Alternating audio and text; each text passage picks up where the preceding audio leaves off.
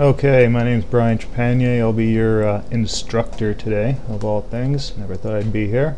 Okay, we have a box. That's what we're going to make first in this process of creating vertex animated meshes. We want to create a bounding box of 128 by 128 by 128 at negative 64. Create it. Looks good. Let's go here and Alt W to maximize that screen, right click to bring up uh, properties. Uh, we're going to turn it off from being renderable and we'll display it as a box so it'll be a wireframe that you can see through. We'll also click here to maximize it to full screen. Okay, now uh, this is the area that we have to create our entire animation in. So anything that you make can't go without a 256 size box. If it does, everything screams bloody murder. Um, so build everything within there. So we're gonna stick a uh, Effectware objects. Uh, we'll st stick a super quad in. This is a uh, free plugin available by these folks at effectware.com. Um, you can get it pretty much anywhere. Just look for free 3D Max plugins. Uh, well, we don't want a keyboard entry. I'm not that smart. Okay, so we're going to uh, create a uh, one of these things. Uh, torus, no, a circle, this whatever, whatever the thing's called. One of those things.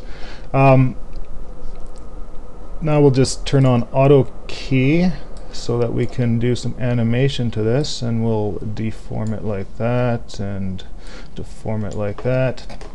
Then we'll click on this key over here while holding the shift button shift key or whatever and drag a copy of that frame over to there. So now it'll go back and looks great. Okay shrink down grow up and loop. This looks good. Okay so that's pretty much the artistic part of it. Oh no okay yeah we'll go we'll stick a UV map on this whole thing. Now I have a, uh, a uh, texture already set up. Um, I'm working at 800 by 600 screen size in hopes of capturing a better frame so stuff's not I'm not quite used to the layout here. Uh, the diffuse click on the little box there and bring up bitmap. And then um, I have uh, already in UT 2004 BKT props 2 textures. Okay so we got this one here. That's the texture we're going to be using. That's the folder layout. We'll discuss that later. Never mind it right now. Um, add it to the uh, material uh, add the material to this donut that's what it's called. It's a donut in Canada and I don't know a donut when I see one. Um, here's a uh, show it inside the viewport so when you click over here and smooth there we go it's textured. It looks great. Go back to wireframe alt W to go back to four screens. Now this here uh, is important. Uh, we'll just drag over the selection tool make sure it's all selected. Um, you have to call it we're going to call it star 2D because everything else is already set up for a 2C. That was a test one I did yesterday, but the frame just looks ugly, so we'll do it again. But then you have to have 0, 0 there. That's important. Um, so now that's called what it's called. And we're going to go to uh, Tools and Snapshot. And we're going to uh, select the range and the range is 101 frames because it's from 0 to 100 and then OK well you can see well you can't really see it there but behind it. It's creating all the frames and then this, this box will disappear when it's done. There it goes. Um, the box is selected. We don't want that. So anyways press letter H on your keyboard and it brings up your selection box. Select everything that is not the box. Your bounding box. The bounding box again is just around there to uh, confine the animation so you know the space you have to work with. And now we have that into all those 101 frames of the very various states of that uh, object donut um, captured. So we're going to uh, export selected. And here's the file uh, setup so we go to Unreal Tournament 2004 I have a folder here BKT props 2 in there there's a classes models and textures folder. We'll set this one up in the in the uh, models folder and we'll call it uh, star 2D. Save, export, textures, uh, yes.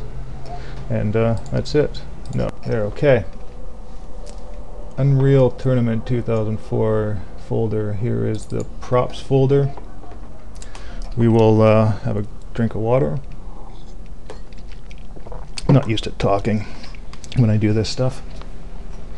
Okay, um, in models we have 3ds2unrar 2unr.exe and the uh, 3ds file we just made this this uh, 3ds2unr 2unr is a program you just get online. Uh, it's run by DOS. Ah not DOS. Yes here we go. Let's make that full screen. I don't know if that makes it any easier to see stuff or not so the first thing we want to do is change directory, which is the CD, and then C colon slash, note the slash, this is the opposite slash that you would normally see on the internet. This is for working within your own computer system, so that's putting you into your computer system as the other one which takes you out of your computer system to the internet, just by design I guess, or that's just when we look at it. Uh, C colon uh, slash UT 2004 slash BKT props 2 because that's the folder and then models. And now we're in there uh, BKT props models. We want to do 3s 2 unr and then mm, uh, this thing here the line minus sign uh, set proj and I've already done this before but we're going to do it now just so you can see. HP uh, Pavilion uh, down to the UT 2004 and uh, the the folder that we want is the BKT pr T props 2 folder. And uh, so we select that. And what that does is when you use this 3ds2unr.exe the first time it creates the folders textures models classes within these ones here within that uh, folder that you just told it to. It sets it as project folder. So now that we're in there we want to use it to um, convert the uh, 3ds star dot underscore 2d uh, 3ds file into the uh, two files that we need to create the necessary thing to bring into the game. So 3ds to unr uh, we go uh, star 2d and then star 2d once more but this time we do dot 3ds so everything looks good imported there we go. Now we have the underscore a and the underscore d folder uh, folder uh, file I should say. That's what uh, the uh, script that we're now going to look on which resides in the classes folder. And by the way this 3d uh, what we just did created this extra one. You see there's one two here called C that's from the test ones that have already been done. And then this one here called D that was just created by 3ds2 on R. And uh, we just delete that right out of there because I never it's really confusing if you look at it. So uh, we just first we're going to change this to uh, D and we're going to change this to a D and then look inside this. Oh there's too many things in that one so we're not gonna do that one. We'll look at this one. Oh that's not so many so we'll do this one. So we change this one to a D and then here we change this to a D and here we change this to a D. And uh, loop anim what this here part here is is just telling it how fast to play the animation that is just created. So you can set that to 0.5 set it at 1 it plays exactly as it's come out of 3d max but it as interpreted by the game or you set it for half that and it's just you check it out when it goes in game excuse me and see how it's playing and then just just your uh, numbers there accordingly ah wonder if you heard all that okay so this is all everything's been changed to D. So the class star 2D mesh extends decoration. So we're going to now find this afterwards underneath the decorations actor folder. So we can just save this one out and it's saved as a UC. Opened up in Notepad by the way. You know it's just a text file but it's called a .uc after the fact. Now this next one here, you already looked at it, uh, and it's got a lot of extra stuff in it, so we don't want to just have to change all those 2Cs to 2Ds. So what I have is a program called AbiWord, it's free. So I'll open that up, and then just Control H brings up this here. So where it says uh, star underscore 2C, we want it to say underscore 2D and then we replace all of it and now it's changed all those in game so that's great so we have texture stuff here you're gonna have to figure that out after it's not a big deal I've got a folder the texture folder it has a file in it called i underscore 1a.dds dds is the uh, texture file format best suited for uh, in-game work. And textures is uh, the folder that's inside that bkt underscore props2 folder residing inside the UT 2004 folder on your, my C drive. You might have it on a different drive.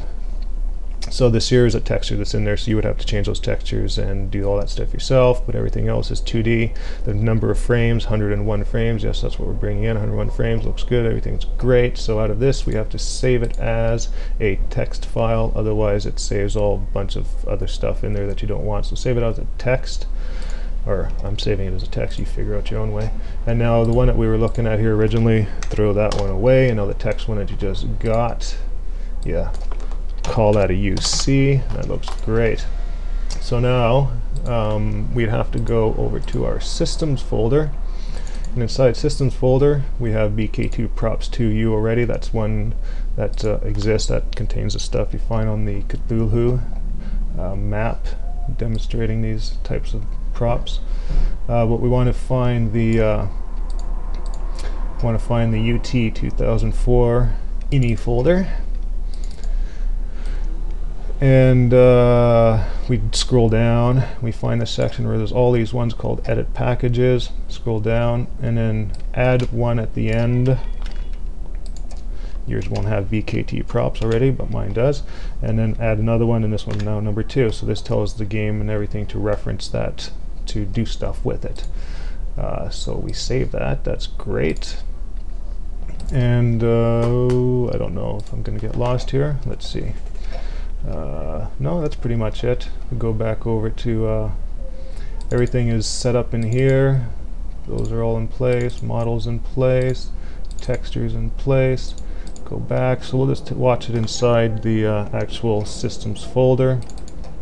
We'll uh, grab the name. So BKT props 2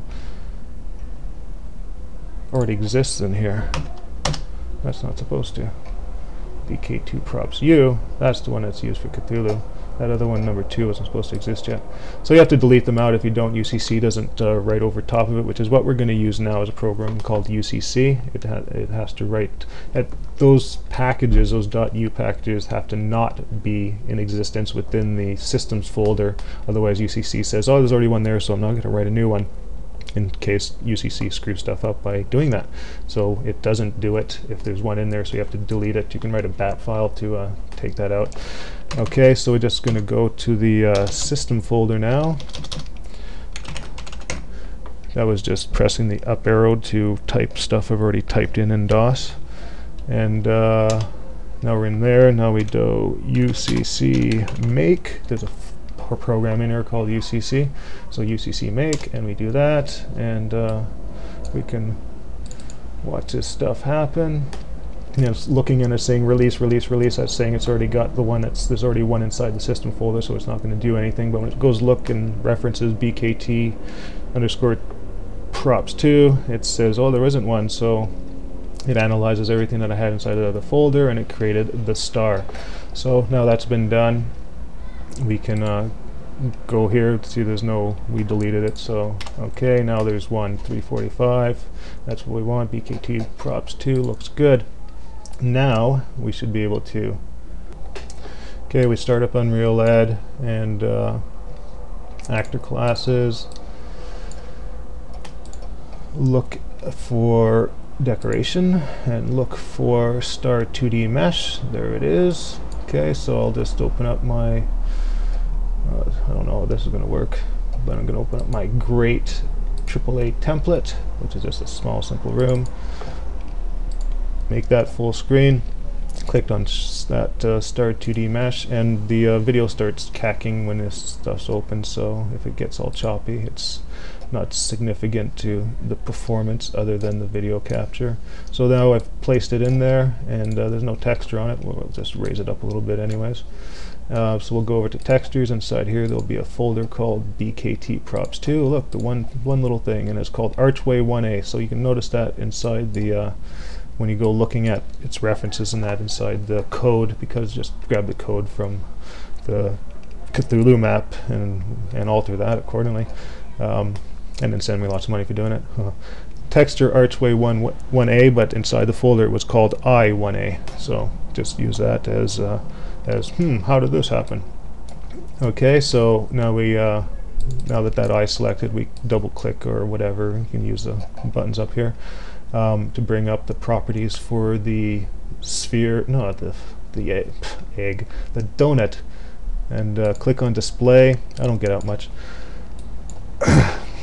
and then uh, skins, empty, just in case, add use, and there it is, it's skinned up, looks great. So we can close all this, and now what we're going to do is uh, just do a build all, and uh, start the game.